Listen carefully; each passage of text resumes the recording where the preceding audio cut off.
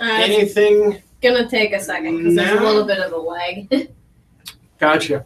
Jenna, what did you what were you what did you do this weekend for fun? I went to the Renaissance The Fair. Minnesota Renaissance Fair. Fun fact: Our fearless leader, uh, fearless leader uh, Dave went to see Penn and Teller last night. Really? Did you know that Penn Penn and Teller's first uh, presentation, uh, first uh, time they ever performed together, was at the Minnesota Renaissance Fair I did not. Now Uh, I do. many years ago. Cool. That's cool. Well, we've had a couple of people join us, so I just want to remind you on the right-hand side of your screen, if you see anything, if you see a question, uh, questions bar, if you want to ask a question, Jenna will interrupt me, and we will, uh, and uh, so this should be interactive. This should be helpful to you. Today's going to be a little lighter on on the heavy content. It's really going to be trying trying to have a little fun romp. So today, what we're going to do is we're going to talk a little bit about us here at BizzyWeb. And then we're going to talk about Schadenfreude, which is really the word of the day, Schadenfreude, and we'll, I'll explain that in a little bit. And then at the end, uh, I'll uh, answer any questions you might have. And uh, once again, thanks for joining us. So, uh, who are we? We are BizzyWeb. We are a full-service digital marketing agency here in uh, Champlin, Minnesota, just north of Minneapolis. We were founded in 1999. We have a staff of 15 people and uh, we have clients all over the world. What do I mean when I say we're a full service digital marketing agency? It means we can take you from having a having absolutely nothing, create a brand identity around who you want to be, uh, take that brand identity online into creating a really uh, affirmative, uh, forward momentum based website where your, your your website is actually doing positive things for you and then uh, have a lot of digital marketing strategies to get you leads, get you new people looking at you, promote products, and all of the above. If you have any interest in working with us, we'd love to see you. You can join us at bizzyweb.com, which you've seen before, or you can call us at 612 424 9990. So there ends the pitch part of our show today. So let's uh, let's get started. Oops. Yeah, I forgot I, I had this slide in here too. This is what we do, but I just told you that. So uh, on our social media, if you want to find us, you can see uh, that uh, we are pre- pretty consistent in our presentation. Uh, at Twitter or at BizzyWeb. Uh, Facebook is at facebook.com slash BizzyWeb. You can also find us on LinkedIn. You can also find us on Google Plus, which some of you did today. So let's get into what we're really here to talk about today, which is stupid social media mistakes. But because this is a, work-related event, we want to make sure that we use uh, big words that sound really important. So today's word of the day, class, is Schadenfreude. Jenna, do you know what Schadenfreude means? I do indeed. What does Schadenfreude mean? Means taking delight at the pain of others. That's right. It's happiness at the misfortune of others. That's what we're going to be talking about today. I'm going to provide you with a number of people who provide made really colossally bad social media mistakes. And what we're going to do is we're going to we're going to laugh a little at their misfortune, but we're also going to try and learn a little and make sure that we don't we don't follow the same suit. So some of what I'm going to show you is it's it's okay if you're at a work computer, but uh, some of that uh, I want to warn you ahead of time is a is a little racy, it's a little offensive. Please understand that this is not something we're advocating. We're only showing this as a way that that we can learn from others. So, but with that, let's get started. So, we've got five oops for people to show people to for, for you to learn from today. So, our first one is that people will read words even if they're not there. So, what do I mean by this? I mean, I'll give you a great example. Years ago, my wife and I bought a Honda Pilot. It's an SUV. It's a great car. She's been driving it for years. And I said I wanted to get a vanity plate. I'm really into the Blues Brothers. I love the Blues Brothers. My son, who's 14 months, and I were going to be the Blues Brothers for Halloween. And uh, I told my wife I wanted to get a vanity plate that said "God is co," because we're driving a pilot. See, so it says "God is co-pilot." I told that to my wife, and she said, "Why on earth would you want to have a license plate that says "Go Disco"?" See, she superimposed the D's to make another word. So, uh, people, our, our eyes naturally are in, inclined to uh, read something even if it's not meant to do, be there, and that certainly holds true with hashtags on Twitter, which is what we're going to show. What I'm going to show you now. So, uh, in 2014 as th- those of you who are NFL football fans know, that uh, occasionally the NFL has a sort of a special event game that's played overseas in London. And so last year, the Dallas Cowboys uh, went to, which is the the most valuable sports franchise in all the world, uh, had to play a game in London, and uh, they were preparing for this great big London invasion. They had a lot of really pretty iconography that went along with that, as they were trying to drum up interest in the game. And one of the things that they did is they created a hashtag so that people on Twitter could could use and, and talk about the event of the Dallas Cowboys actually playing in London. So when you create a hashtag, well, what are we trying to say? We're trying to say that the Cowboys are are, are playing and that they're also in U- the UK. So we've got hashtag Cowboys. We've got hashtag UK. Well, let's put those together so they it reads hashtag Cowboys UK. In a perfect world, that's what it should have read, but somebody didn't really look at it very carefully. So I what I did is I capitalized the S. What the Dallas Cowboys did is they actually created a hashtag and encouraged people to tweet Cowboys suck. So as a Packer fan, I, I fully endorse this uh, the, the, this process, but as, as, a marketer, it's not really the best thing because the Cowboys truly just uh, they they wanted to, to they made a hashtag that was the complete opposite of what they meant, and in trying to get people interested and c- come to the game and create buzz around it, they created the absolute wrong kind of buzz. So our, our, our first pro tip is uh, when you're making a hashtag, make sure that there aren't any hidden words in there and it doesn't read the complete opposite of what you, what you really meant. So our next uh, oops is asking questions that have multiple answers or having an answer you don't necessarily want. Um, there's a famous story about when Abraham Lincoln was a, a lawyer he would he was asking the question he was defending a man who uh, was accused of biting a man's nose off in a bar fight. And so he was questioning the witness who the alleged witness and he said well did you see uh, did you see the fight? Well no i didn't see the fight. Did you see my client bite off the man's nose? No i didn't. So then lincoln took the absolute wrong next step which is saying well how do you know that he bit the man's nose off he asked a question that he didn't know the answer to, and the witness responded by saying, I saw him spit it out. So Lincoln obviously lost the case. Similarly, when we're at a lot of times when we want to have good engagement with people online, we want to ask open ended questions. An open ended question is a question that can have multiple answers, but we want to make sure that we limit those answers to positive things that give us a realm of a, good possibility. So here's an example of how this went epically wrong.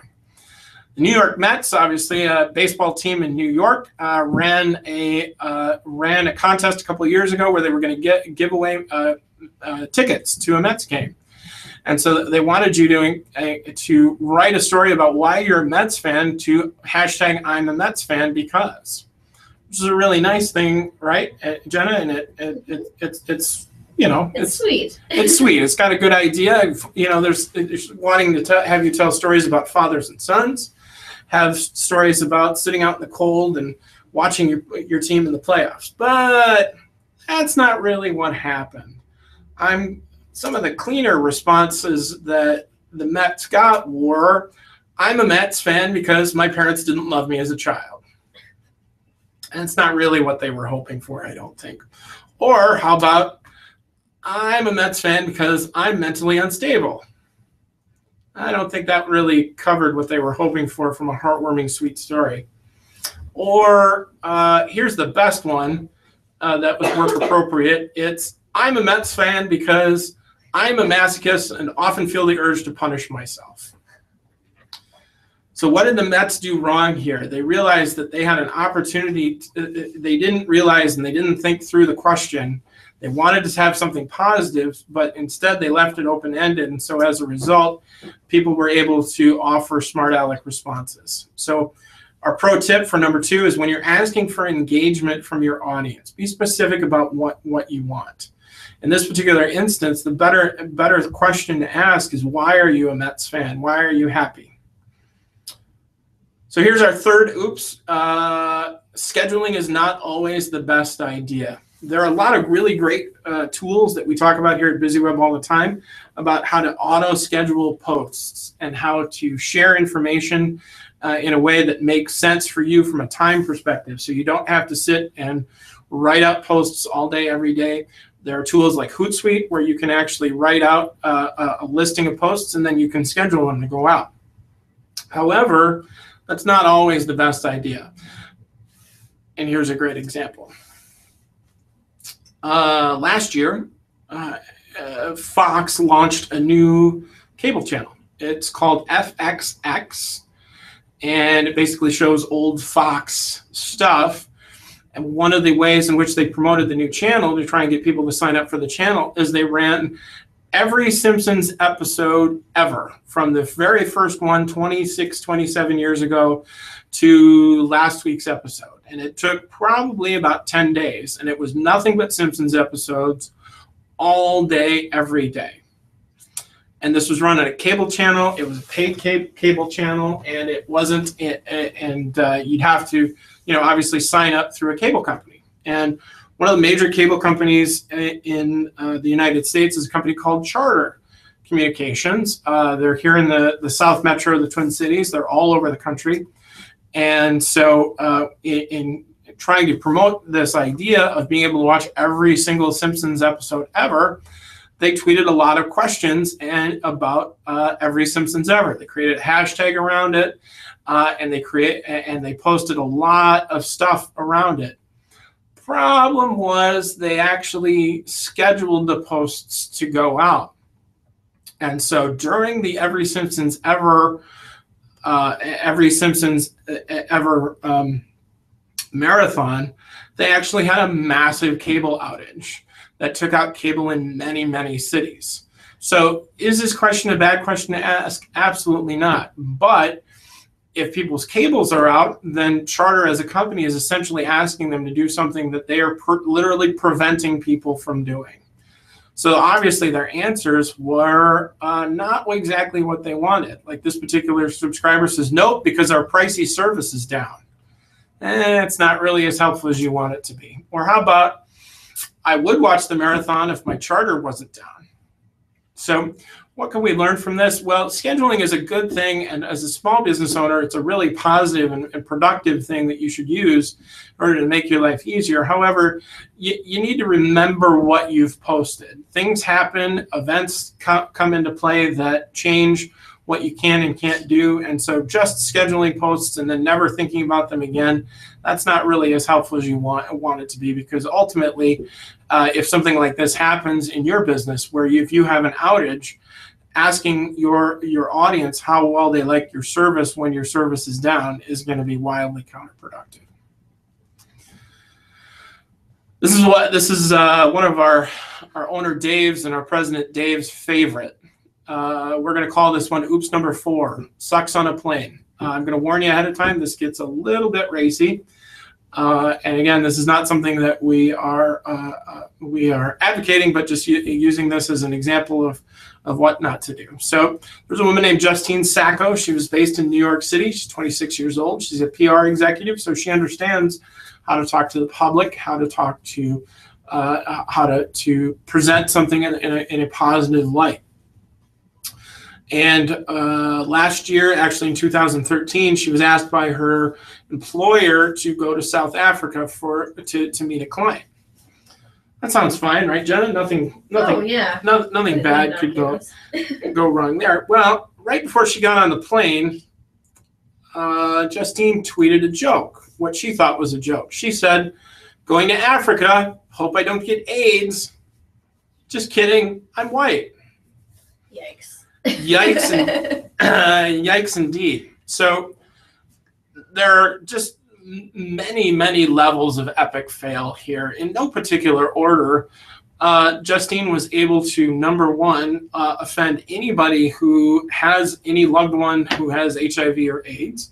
She was able to offend really the entire continent of Africa in one sitting. Now here comes the fun part. Realize that she tweeted this, and then she got on a plane to, to go from New York to South Africa, which is a is a 12 hour plane ride. And she doesn't have Wi-Fi on the plane. So she got a massive, massive backlash to the point where uh, there were hashtags and people following the plane online to see when it would land and when Justine would actually realize what she said and and uh, and, and, and how she would deal with it. Obviously, as soon as she got off the plane, she was immediately fired. So, our pro tip is this if you're going to be visible and be racist, don't be without Wi Fi for 12 hours in a row. That's a, li- that, that's a little bit funny, but here's the, re- here's the real tip. Uh, you can believe what you want, but realize that sometimes it's not the most beneficial thing to share it with a large audience that you can't control. The second pro tip is, is, is this if you're going to write something funny and you're not sure if somebody is going to be offended or not, chances are good somebody's going to be offended and you shouldn't do it. Humor only works if it doesn't get you in trouble. If you have to explain it, if you have to apologize for it, it's truly not very funny. This is. Uh, she's uh, this is really a great example of how somebody's life was completely ruined by by one really bad joke. So here's our, our, our oops number five. This is uh, what we like to call posting and consequences. So uh, in, in shorthand, this is a, a really good example of you shouldn't be friends with your boss online if you don't like your boss. I've got two great examples, and I'm going to share this mostly because our boss is in Vegas today. And if you're listening, I just want you guys to know that this doesn't apply to you at all. So uh, here's a great example. Somebody posted on Facebook I love when I can hear my boss talking on the phone at work. As long as I can hear her on the phone, I know it means she's not going to sneak up behind me and see how many web browsers I, I currently have open. Oops. It just so happens that she's friends with her boss on Facebook. So her boss responds, I love it when my employees post things like this on Facebook. I'll need to see you in my office at four. That's not going to go well for her. I've got one more example. This is this is my favorite of a so, social media epic fail. But here's your pro tip. Remember uh, what the great philosopher Drew Carey once said. There's a support group for people who don't like their job. It's called Everybody, and we meet at the bar. That's a funny statement, but realize that. It, it, but the real pro tip is this: don't write anything online that you don't feel comfortable saying to somebody's face. If you don't feel comfortable walking up to your boss and explaining to her, explaining how great it is to hear her on the phone, because you know then she's not going to sneak up and see how many how much work you're not doing, you shouldn't be writing it online under any circumstances. But here's my favorite. This is an old oldie but a goodie. This is a little this is a little uh, blurry, so I'll read it for you. This is a gentleman named Kevin who was friends with his uh, boss named Paul. This was a long, long time ago. And uh, Paul, on, uh, on, on, an early morning, uh, wrote to his boss Hey, Paul, I just wanted you to know I will not be able to be into work tomorrow. Something came up and I have to go to New York this morning for a couple of days. I apologize for the delayed notice. That's not a bad note, is it, Jenna? No. No, it's nice. Everybody writes these, everybody gets these. And uh, so his boss, you, you, know, it's it's a fairly benign thing. Things come up, things happen, and uh, and uh, Paul writes back to Kevin, "Hey Kevin, thanks for letting us know. Hope everything is okay in New York." Cool wand. What do you think he meant by cool wand, Jenna? I have no idea. well, it turns out that our boy Kevin uh, was Facebook friends with his boss Paul, and at 2 a.m. the night before, had this picture posted on his Facebook page. You'll notice he's dressed as a fairy with a very nice wand. Uh, clearly at a party, uh, drink. He's not even drinking good beer. He's drinking natural light. I mean, you really should just get fired for drinking bad beer uh, on anything. So remember that while pictures are fun, there's always a different side to it. Remember how people look at you is reflected on the information you share share with them. I, I don't know if Kevin found uh, gainful employment after the fact, but uh, good news is he lives on in uh, seniors everywhere who are madly cleaning off their Facebook page as we speak. So that was all fun and games, and that was some some funny examples of some some really smart people doing bad things. But how do I avoid doing these things? Well, here's a couple of best best practices that we can remember. First of all, most important that we can learn from the PR lady is this: if you're not sure if somebody is going to be offended at something that you're writing, chances are they probably will be. Uh, so exercise caution and remember, less is more. If you think being funny is going to work, then do it. I encourage it I am guilty of thinking thinking I'm funny just about every day, but being cautious and remembering that sometimes everybody doesn't find you funny is, is really a smart move. And if you want to remember a poster child for that, remember uh, Justine, the PR lady. Secondly, schedule. We encourage scheduling of postings to it makes your life easier using automated tools uh, like Hootsuite.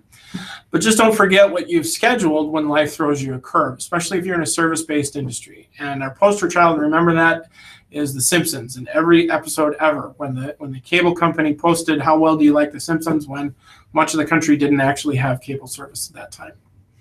Third, be specific when you're asking for something. When you're asking for a, a, a memory of, or an explanation as to why you are a good, uh, oops, why you're a good fan, why you like your team. Remember that the best way to best way to show that is by is by asking, tell me a good story. Tell me a positive memory. We're gonna quickly patch push through here because I didn't press the wrong button. So don't worry, you're not having a technical difficulty. It's a really great PowerPoint that I did. All right, third one. So when you're asking for something, talk about a positive memory. Why do you love the Mets? Why is it?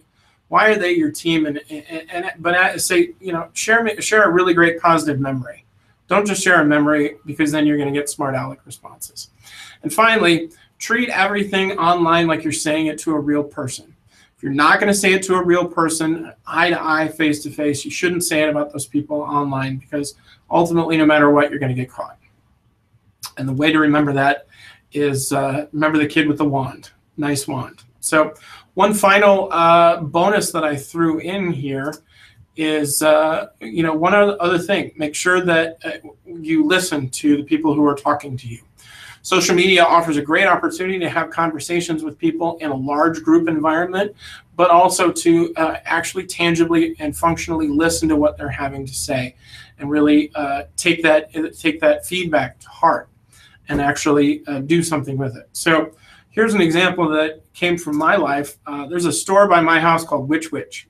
They make really fantastic sub sandwiches. They've got a, a sub there called the, the Wicked Witch, which I just think is great. It's got five meats and three different cheeses on it. I think it's fantastic.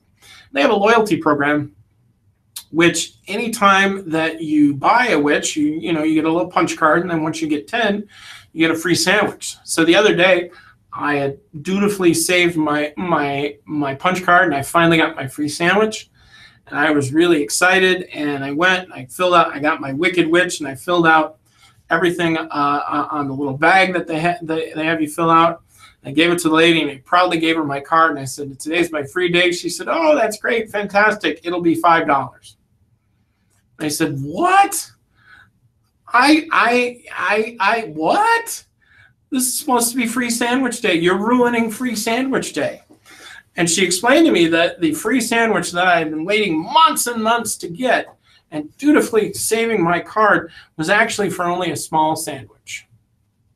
And so I was pretty disappointed in that but I ate my sandwich because it's a good sandwich, and I posted this on their on their Facebook page. I said I cashed in my free sandwich yesterday after diligently saving my card through nine sandwiches. I was shocked to learn that it was only for a medium sandwich, maximum six dollars. I'm sure it's written down somewhere on your cover, but I feel like it was a bait and switch to only offer such a small amount when most of your sandwiches are more expensive. I'm disappointed, and I'm probably going to be looking somewhere elsewhere from now on.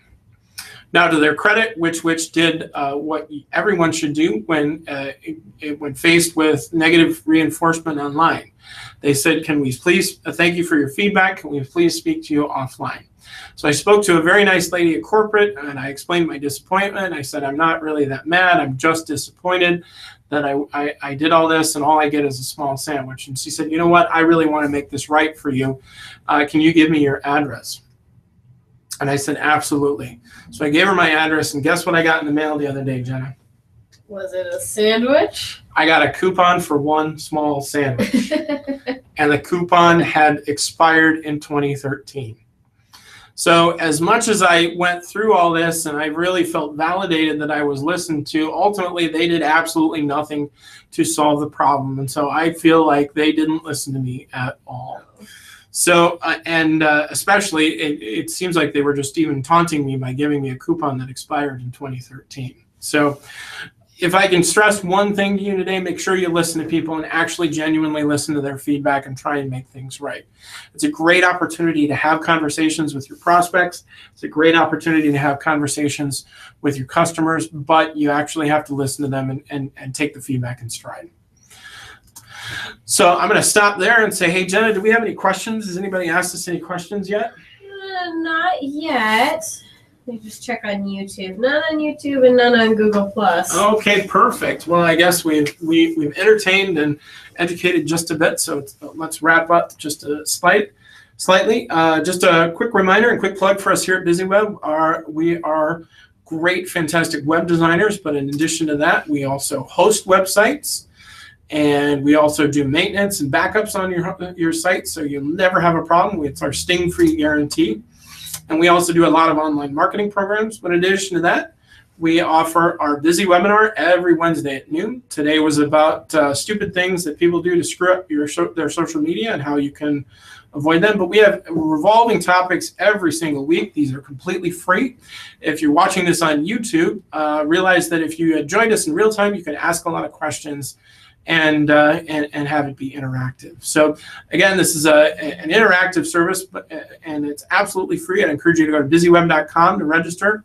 And but if you can't make it at, at the end of it, it's uh, posted to YouTube every single time. One final thing before we go, uh, if you go to bizzyweb.com slash buzz, you can get a free buzz report. This is a long, detailed audit about everything that your website is doing, uh, both good, bad, and ugly and it will give you the opportunity to really see if uh, you need to do something else in order to make your life a little bit better. So you can go to bizzyweb.com slash buzz and you can get a, a real-time, real grade about what you need to do to grow. Thanks everybody for joining us. If you have any questions, you can uh, reach me at uh, Trygve at but at uh, at uh, bizzyweb.com. But thanks everybody for joining us. We'll see you next Wednesday at noon. Bye.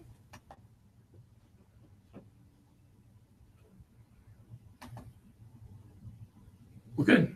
Okay.